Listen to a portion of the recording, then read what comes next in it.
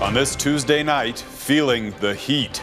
Record high temperatures fueling fires and causing travel troubles in Europe. This is pretty extreme. As humidity cranks up the heat in parts of Canada, the message from meteorologists disaster and disbelief. It's, it's absolutely insane. The powerful storm that pummeled an Alberta community calls for a life saving solution the push for a three digit suicide crisis hotline. Global National with Donna Friesen. Reporting tonight, Jeff Semple.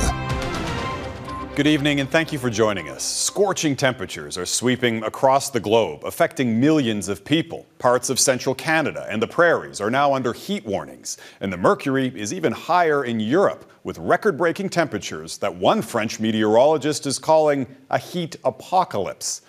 The UK shattered its hottest day on record, with temperatures there hitting 40.3 degrees Celsius in a village north of Cambridge. The German town of Beryl hit a sweltering 39.3 degrees, marking that country's hottest day of the year. And in France, temperatures topped 40 degrees in Paris, the second hottest temperature ever recorded in that city. Here in North America, more than 100 million people in the United States faced heat related warnings or advisories today, with temperatures reaching 43 degrees Celsius in Dallas. And Environment Canada has issued heat warnings for Saskatchewan, Manitoba, Ontario, and Quebec, with very high temperature or humidity conditions and severe thunderstorms expected in the coming days. We have comprehensive coverage of the extreme weather. Our reporters are in the hot spots here in Canada, the United States, and in Europe. We'll have more on the situation here at home in just a moment, but we begin in the UK. Our Redmond Shannon is in London, where the city's fire brigade has now declared a major incident after a surge of heat fueled fires in the British capital. Redmond. Jeff, firefighters remain at the scene here and in many other locations across southern England. Record breaking temperatures that turned many parts of this country into tinderboxes. A neighbourhood in flames on a day when Britain baked. As temperatures topped 40 degrees in the UK for the first time on record, fires flared up across southern England. Remarkably, this blaze began right beside a fire station, but in these conditions, there was little the firefighters could do to save some of the houses.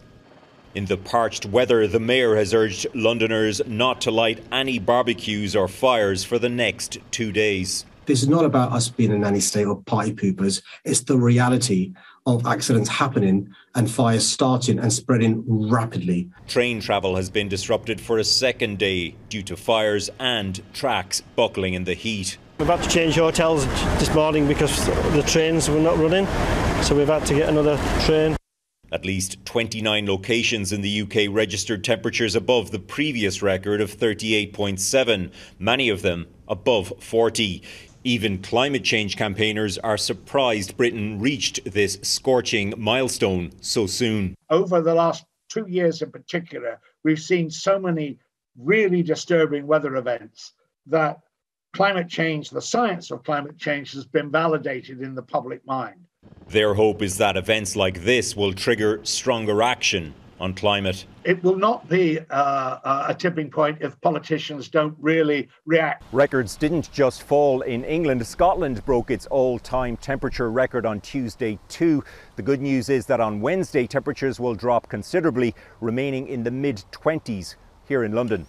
Jeff? Redmond Shannon in London. Thanks, Redmond. The intense heat is also fueling hundreds of wildfires across Europe. At least two people have been killed in Spain in blazes the Prime Minister is blaming on climate change. In France, wildfires have ravaged the southwestern part of the country, forcing thousands to flee their homes and leaving some areas in total ruins. Firefighters in Greece are scrambling to maintain a wildfire north of Athens, which is now said to be threatening homes in a suburb of the Greek capital. Here at home, heat warnings have been issued across four provinces, stretching from central Canada to the prairies. Now, we're not expecting to see temperatures on the scale they're witnessing across parts of Europe, but as Mike Drolet explains, officials are still urging Canadians to take precautions. These days, the beach isn't just an escape, it's a reprieve from a humidity fueled heat wave, making Ontario and Quebec feel like an oven and putting paramedics on notice. I think the biggest thing that we tend to see is uh, um, an increase in calls related to that. So, um, individuals who are calling in with uh, heat exhaustion, heat stroke. Gauging the temperature can be tricky for a lot of people. Environment Canada measures the true air temperature by putting its thermometers in the shade. So, while it might feel like a high of 31 here and be quite pleasant, when I go into the sun, the true temperature for me, because of the direct sunlight, is probably closer to 40 degrees. And the message from meteorologists and climate scientists get used to it this year and every year. So, this is not something foreign to us, but it's getting more frequent, more intense, longer lasting, occurring earlier and going later. And so we clearly see what the future is. The future is more of this. I was okay without an air conditioner till about five years ago. And then it was like, oh, yeah, you need it. Like, I can feel it getting hotter and hotter every year. Adding to Ontario's woes right now, a lack of rainfall. If that doesn't change soon, farmers warn the food chain could suffer. Corn stalks, for one, aren't as tall as normal. Without moisture, the kernels won't develop on the cob. What we could end up with is just a green stalk or possibly even just uh, a cob with a few kernels on it. So it will impact everything from feed for livestock to feed food for human consumption. For Jim Clark and Margaret Long, the trend towards hotter summers led to them prioritizing a dream vacation. That's why we're going to the Arctic. Yeah. Because if we don't see it now, it's not going to be there anymore. A hot summer with slow burning implications. Mike Drolet Global News, Toronto. Southeastern Alberta is reeling after a fast moving, powerful storm swept through that region yesterday. Holy Take a look at this video. A full size trampoline carried by the wind bent in half around a light standard. Heavy rain and strong winds pummeled that area yesterday, knocking out power and destroying homes and vehicles in its path. Our Dallas Flexhaug is in Cypress County tonight with more on how those communities are coping. Dallas. Jeff, it's sunny now, but the damage left behind is proof that this storm packed a powerful punch. A view from above shows what Mother Nature can do in an instant. Over half a dozen homes are wiped out by what Environment Canada is calling a gust front that packed 140 kilometer an hour winds. We just bought this one three months ago. On the ground, Helmut Doring is left surveying the damage of what used to be a workshop filled with antique Studebaker cars. It was a building, yes, and now it's a pile of cars. Have you ever seen anything like this? Only on TV from the disasters down the states. It was just totally white with rain. But Helmut's son, Ed, also had a close call. And then I heard this crash and looked behind me, and there was this tree branch that was sticking through my roof. What were you thinking? Uh, what do you think? You think, holy, hopefully I make it through this. That's all. So are six construction workers who took shelter in this trailer before it was tossed 30 meters and crushed. Amazingly, they all survived. The trailer is a mess. I don't know how they walked out of it. And it's, it's absolutely insane. Nobody was hurt or is unaccounted for in this storm, although some livestock was lost. Thousands throughout the county dealing with downed trees and power outages. Crews have been working around the clock to restore. Cypress County says it is still in recovery mode, surveying just how much damage was done. It is absolutely a tremendous uh, loss, and uh, uh, it's a shock. The biggest thing is that there was no loss of human life, and uh, it's uh, we can rebuild, but we can't replace a person. So it is devastating, but we have to. We sometimes have to count our blessings too. The county has teamed up with the Red Cross, offering accommodations to those who can't go home. And as the cleanup begins, those here say they will get through this as a community. Jeff? Dallas Flexhaug in southeastern Alberta. Thanks, Dallas. And this heat wave is also fueling calls for action on climate change. Global warming is making these extreme weather events far more common. The United States is one of the largest emitters of greenhouse gases. And as Jackson Proskow reports, the American president is expected to announce new measures aimed at the climate crisis. Dangerous heat is so widespread in the U.S. that nearly 100 local temperature records have fallen so far this summer. We're certainly seeing more extreme weather uh, due to climate change. Yet in steamy Washington, D.C., it's clear the American response to the climate crisis is quickly wilting, with much of President Biden's climate agenda blocked by a senator from his own party, Joe Manchin from coal-rich, West Virginia. I haven't walked away from anything, uh, and inflation is my greatest concern. Add to that a recent decision by the U.S. Supreme Court limiting emissions regulations on power plants, and President Biden's own visit to Saudi Arabia, where he pushed for more oil production.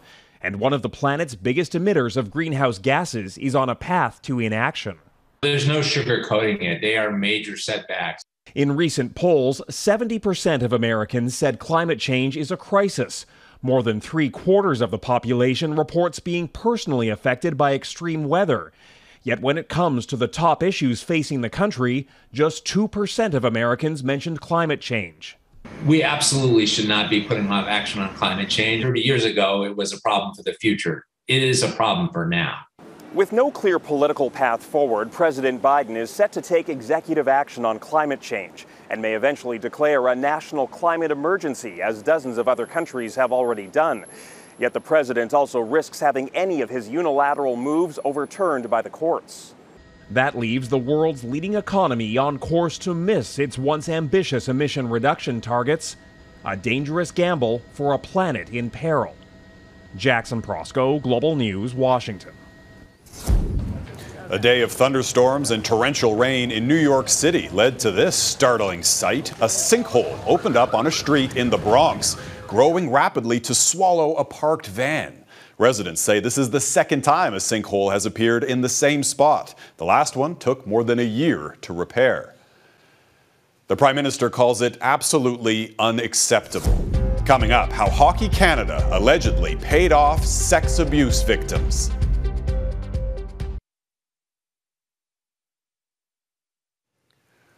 There are damning new allegations Hockey Canada kept a fund that could be used to pay off sexual abuse victims. Right now, it's hard for anyone in Canada to have faith or trust in anyone uh, at Hockey Canada. Uh, what uh, we're learning today is absolutely unacceptable. As first reported by the Globe and Mail, an affidavit from an Ontario case suggests the national body kept money in a separate account to pay for uninsured liabilities, including potential claims for historical sexual abuse. This multi million dollar fund was financed by player registration fees from across the country. Last month, the federal government and corporate sponsors paused funding to Hockey Canada following the organization's settlement in an alleged sexual assault case involving members of Canada's 2018 World Junior team. In an emergency, Canadians can call 911, but pressure is mounting on Ottawa to establish a new three digit hotline specifically to help prevent suicides. On average, about 10 Canadians die every day by suicide. The House of Commons voted in favor of establishing a suicide prevention hotline back in 2020. Tonight, Morganne Campbell speaks to one survivor who says a hotline is long overdue.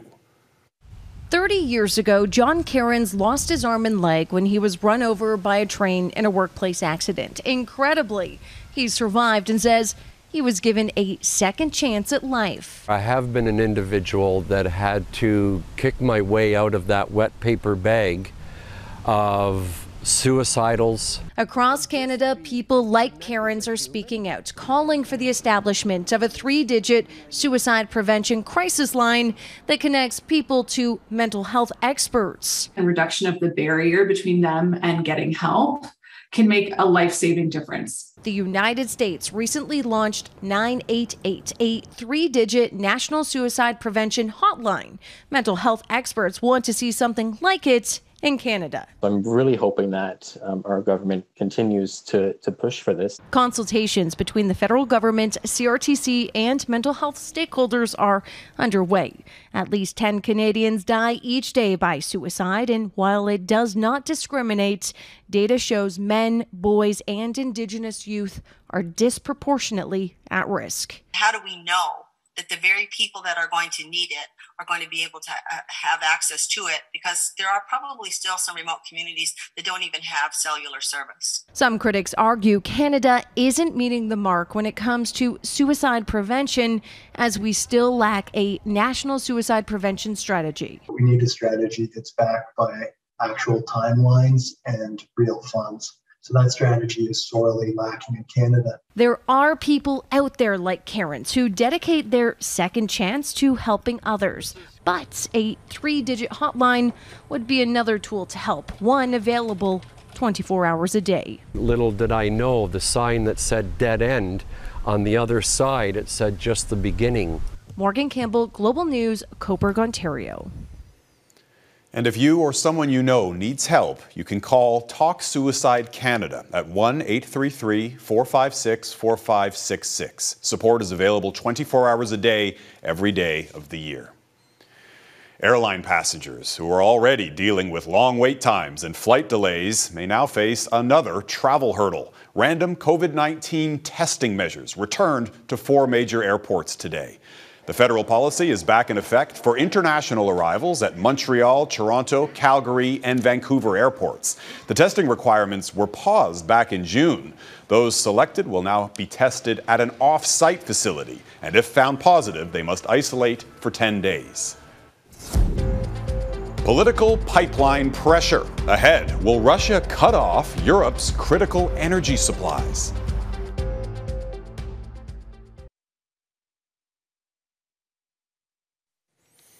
Welcome back. Western European nations are now scrambling to make contingency plans, with uncertainty clouding the future of one of their largest sources of energy. The Nord Stream 1 pipeline is expected to go back online this week after a brief outage for annual maintenance. But as Abigail Bimman reports, it's not clear if Russia will agree to restart the flow of gas. European governments are planning for all energy possibilities. What we're watching is a game of political chicken uh, between the Russians and the EU, uh, with Germany being on the sharp end. Tuesday morning, Reuters reported state owned Gazprom will allow at least some gas to flow Thursday after maintenance is completed, work that required Canada to bend sanctions and allow turbine parts repaired in Montreal to be returned a controversial move. Where did the prime minister's office, where did the cabinet um, see a win for Canada in all of this? Uh, there's there's some explanations uh, or some suggestions that uh, Canada did this to uh, ensure the uh, unity of, of the alliance.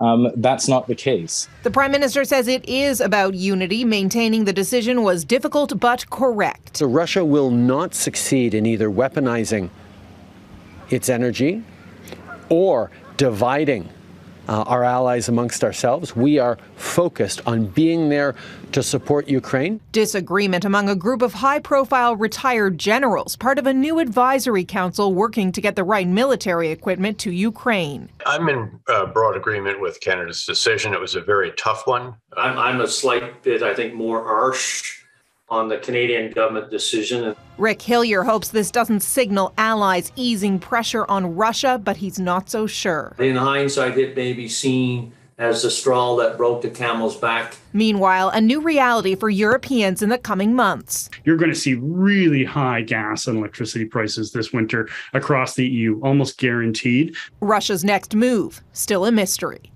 Abigail Bimman, Global News, Ottawa. Vladimir Putin is making a rare trip abroad for face to face meetings with the leaders of Iran and Turkey. The visit to Tehran is the Russian president's first trip outside the former Soviet Union since he launched February's invasion of Ukraine. Topping the agenda, a deal with Turkey to allow the resumption of grain and the conflict in northern Syria. These meetings are also being seen by some analysts as a sign that Moscow plans to strengthen its ties with allies in Asia in the face of Western sanctions. And that is Global National for this Tuesday night. I'm Jeff Semple. Tonight's Your Canada is the Northern Lights over Tilbury, Ontario.